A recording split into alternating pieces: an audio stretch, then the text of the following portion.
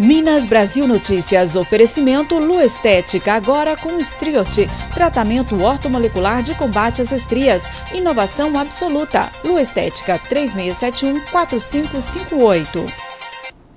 E uma das atrações da 30 Expo Paracatu são os estandes, lugares preparados para receber os visitantes durante a festa. Um desses estandes de destaque é o estande montado pela Prefeitura de Paracatu para receber também os paracatuenses, bem como visitantes, durante os dias de festa e mostrar algumas belezas do nosso município. Um dos locais mais aconchegantes de uma casa, onde é? Não é realmente a cozinha?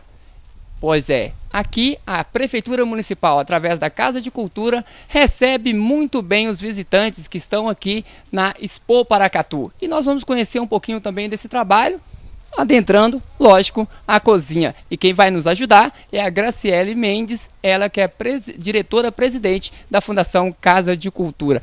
Graciele, parece que está muito bacana, né? Isso, vamos entrar?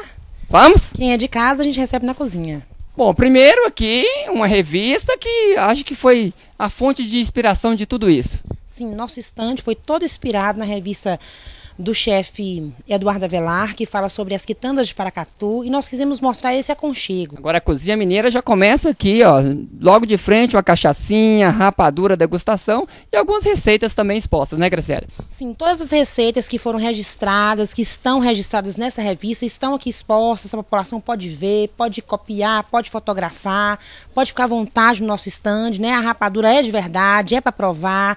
Tem aqui um alambiquinho da pinga de Paracatu. Nós queríamos mostrar mostrar esse carinho, essa hospitalidade que o povo de Paracatu tem e também dar esse aconchego, essa popularidade, esse tom de família, nesse jeito gostoso que o povo de Paracatu tem.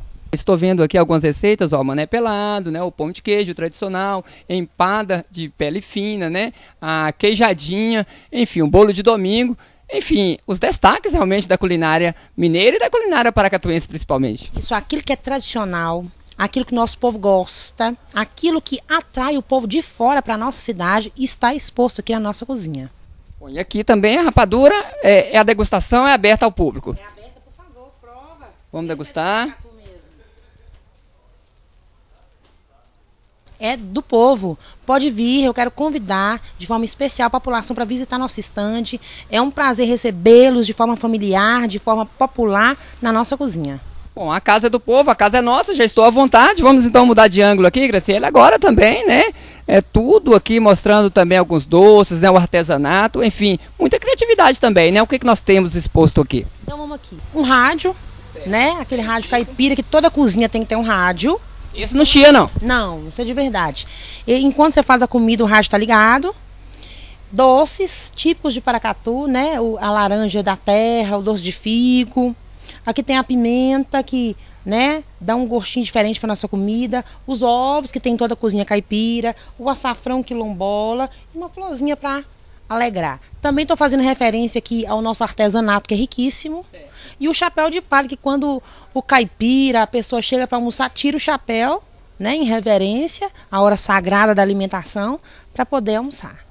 E aqui também, quem não conhece Paracatu ou tem tempo que nem vem à nossa cidade, né? O próprio artesanato já mostra como é que está a situação. Isso, mata a saudade. Quem é de fora, quando chega, fica tão feliz em, em se deparar que a gente está tentando preservar, tentando fazer um trabalho de, né, de preservação verdadeiramente do, dos prédios, dos casarios, né, da cultura tanto material quanto imaterial. Isso com certeza, Graciela, faz a diferença. Nós vamos mudar de ângulo aqui agora. Tem muitas pessoas que gostam, né, Graciela, inclusive de sentarem o fogão a lenha, bater aquele papo gostoso. Aqui não dá para sentar porque as quitandas, né, o cafezinho, as panelas, tá tudo cheio aqui. Mas com certeza é um banquete especial e um lugarzinho também onde, né, prepara toda a nossa culinária. Então, a cozinha mineira é farta. Né? O mineiro é farturento, gosta de muita coisa, de cozinha cheia, de receber bem os amigos. E é por isso que nós temos questão de deixar aqui né, o pão de queijo, já que nós recebemos esse título de capital do pão de queijo, ele não podia faltar. Então, a rapadura, né, que nós gostamos muito, melado, aquele negócio que o pessoal daqui gosta bastante, o cigarrinho de palha oh. E o cafezinho que é coado na hora para os amigos. O cigarrinho de palha nós não nos recomendamos não, né? Mas quem gosta também, né? Também é cultura. Também é cultura. Aqui um chicreiro, né? Bem bacana. Xícaras esmaltadas, né? Nós fizemos questão de colocar aqui alguns pontos turísticos de Paracatu nas xícaras, né? Estamos registrando aqui os pontos turísticos, toda, toda oportunidade que nós temos de mostrar o que de bonito Paracatu tem, nós tentamos mostrar. Ela aqui também no cantinho, lamparinas, né? Panelas, enfim. Isso, tudo que remete àquele ambiente gostoso da roça, familiar de Paracatu, tá tudo aqui juntinho para combinar e compor esse cenário que é verdadeiro e que é importante para nós. Pessoal, se colocar o querosene e fogo, com certeza funciona e clareira, né? Ah, claro, muito. Graciela, outro cantinho especial, né? Esse cantinho é como se fosse a, a dispensa da casa. Certo. Então ele está dentro de um coxo. Então aqui tem o café que não pode faltar, que o mineiro, um, um, cafezinho depois do almoço, no começo do dia, no final da tarde, né? É tradicional para nós um cafezinho gostoso.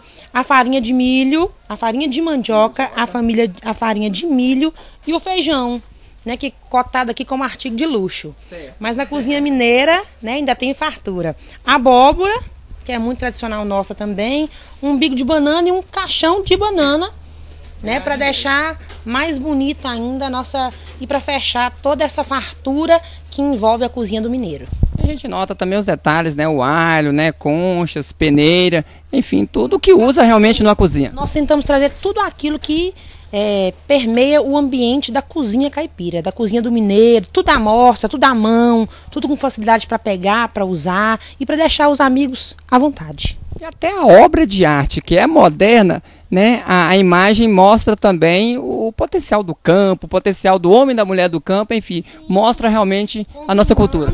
Com a exposição agropecuária, né? Tem um boi muito bonito, né? É, é de uma artista nossa da cidade, Mísia Ribeiro, ela pintou especialmente para esse stand, né, está à venda, né, muito cotada, aliás, e para compor esse esse cenário que a gente queria deixar o povo à vontade, de forma aconchegante, de forma tranquila, sentir essa hospitalidade que é típica, que é própria do povo de Paracatu. Berrante também está exposto. Isso, quem quiser arriscar e tocar, tá aberto. Pessoal, aqui na varanda nós também estamos bem à vontade e a Graciela vai nos contar como é que foi feito esse trabalho. Graciela, outro local aconchegante, né?